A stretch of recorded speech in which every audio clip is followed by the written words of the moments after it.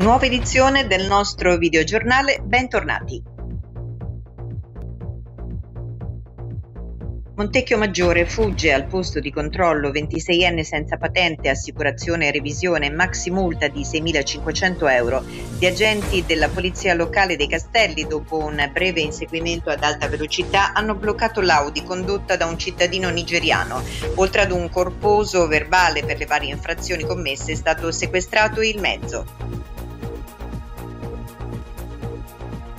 Due ville esce di strada in pieno centro, auto distrutta, danni all'arredo urbano, salvo il conducente. Percorrendo via Rossi, un trentenne alla guida della sua Fiat Punto per cause in corso d'accertamento ha sbandato colpendo le colonnine che delimitano la carreggiata del percorso pedonale. Il conducente miracolosamente non è rimasto ferito. Schio denunciato 21enne dopo la perquisizione in casa, trovati 49 grammi di marijuana. Gli agenti hanno rinvenuto 49 grammi di marijuana, un bilancino di precisione. La sostanza trovata era occultata in bagno e nella camera da letto. L'uomo dovrà rispondere di detenzione ai fini di spaccio, sostanze stupefacenti.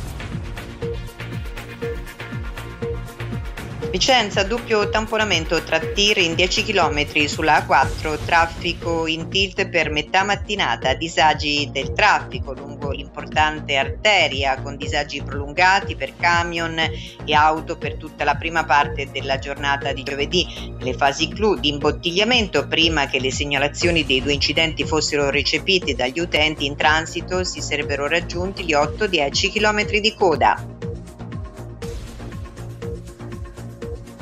Arzignano, la calda estate della Guardia di Finanza Vicentina, 800 interventi in tutta la provincia, un rafforzamento di controlli e pattugli in strada a mirato disposto nelle località a vocazione turistica, Vicenza, Bassano, Marostica, Schio, Tiene, nelle aree montane, ha portato risultati importanti a tutela di imprese, commercianti, artigiani e operatori economici rispettosi delle regole.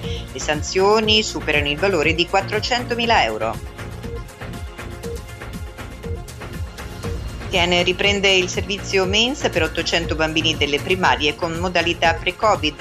Il servizio erogato dalla Food di Reggio Emilia serve un bacino che nell'anno scolastico passato è stato di oltre 800 studenti, tra chi frequenta il tempo pieno e chi usufruisce della mensa nei rientri settimanali e per il doposcuola. Conclusa l'emergenza Covid, il servizio di ristorazione scolastica torna quasi del tutto alle modalità passate.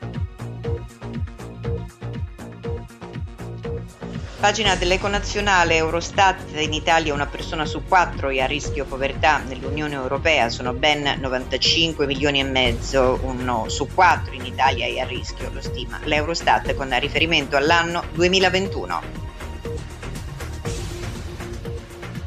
Ucraina incidente d'auto per Zelensky. Il presidente non avrebbe subito gravi conseguenze. Il presidente ucraino ha avuto un incidente stradale che non ha riportato conseguenze, tanto che l'ufficio del presidente ha diffuso il video del discorso serale che il leader pronuncia ogni giorno. Sport Champions, Tris per Milan, Napoli, la Juve crolla col Benfica. Dopo il successo dell'Inter, due vittorie e una sconfitta per gli altri tre italiani impegnate nella fase a gironi di Champions League. Tris per Milan e Napoli, i rossoneri battono 3-1 San Siro la Dinamo Zagabria, i partenopei passano per 3-0 a Glasgow in casa dei Rangers. Fondi russi ai partiti, anche l'Italia coinvolta. Letta ha subito la verità. Anche in Italia sarebbe coinvolta nel caso dei fondi russi ai partiti, ma se da una parte si dà per certa la presenza della nostra nazione all'interno del dossier diffuso dal Washington Post, dall'altra arrivano le smentite. È tutto, grazie dell'attenzione, risentirci a domani.